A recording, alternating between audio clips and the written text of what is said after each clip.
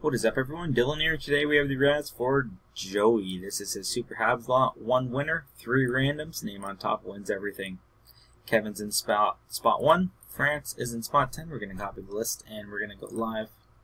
And we're gonna get this started. So best of luck to everyone in this razz. Let's begin. First is David. Second is Kevin. 024014 is the second random. We're gonna copy and paste that into the thread. Verify that it is 10:40 p.m. We have 1040, May 5th, Friday 2017.